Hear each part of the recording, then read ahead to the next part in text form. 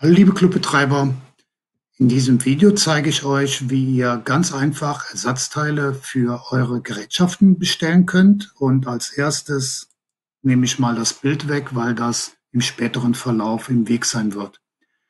Im Menüpunkt Teile bestellen gehe ich auf den dritten Punkt durch die Seriennummer. Er listet mir dann alle Produkte auf, die unter meinem Account installiert sind. Hier sieht man ein Schwinn AC Powerbike und ich sage, dafür brauche ich ein Ersatzteil oder Parts. Bei allen Gerätschaften findet ihr sogenannte Explosionszeichnungen. Und ich gehe jetzt mal in diese rein. Hier habe ich die in groß. Und wir nehmen mal was Einfaches, und zwar diesen Plastikring hier an der Sattelstütze. Ihr seht, wenn ich mit der Maus auf ein Ersatzteil gehe, wird das grün angezeichnet. Ebenso in der Auflistung der einzelnen Bauteile ist das hier die Nummer 66, die ebenfalls grün erscheint. Ich möchte diesen Plastikring für die Sattelstütze bestellen und klicke einmal mit der Maus drauf. Wenn ich jetzt runterscrolle, sehe ich, dass er hier das Produkt auflistet, mir einen Preis sagt, die Artikelnummer und wie lange über, hier steht noch der Garantiezeitraum, wie lange das Bike noch Garantie hat. Deswegen wird hier auch der normale Verkaufspreis durchgestrichen angezeigt, weil sich das Bike noch in Garantie befindet. Ich sage Add to Cart. Jeder, der im Internet schon mal was gekauft hat, kennt das ja. Zum Warenkorb hinzufügen. Wenn ich jetzt raufscrolle, kann ich entweder über Continue Shopping weiter einkaufen, weitere Ersatzteile auswählen oder aber ich gehe in meinen Warenkorb.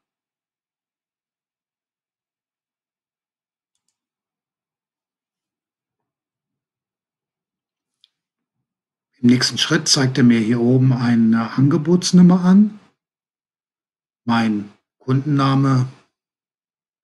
Hier ist eine PO Parts Order Nummer.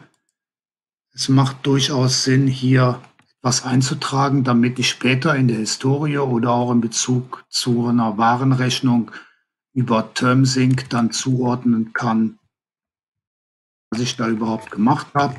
Ich schreibe hier mal ein Test. Bestellung Plastikring, Sattelstütze Stütze muss reichen.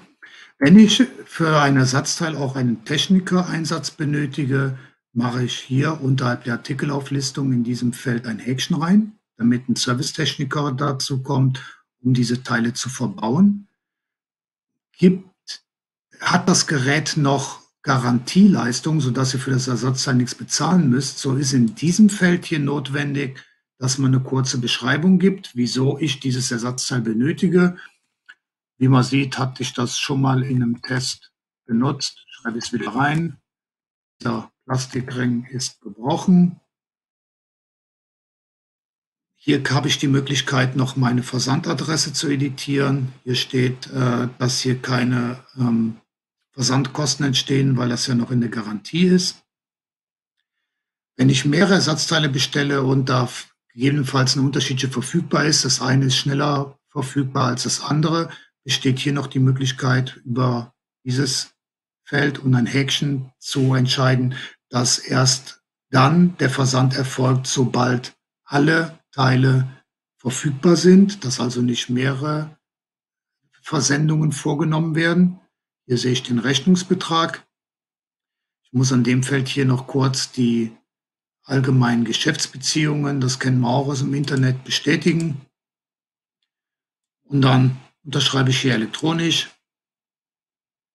Kann hier die Unterschrift auch nochmal löschen. Und wenn ich jetzt hier auf I accept this quote klicke, dann wird die Bestellung ausgelöst und ich kriege eine Bestätigungs-E-Mail. Ja, das ist es auch soweit. Einfach und schnell. Ich wünsche euch einen schönen Tag. Danke für eure Aufmerksamkeit.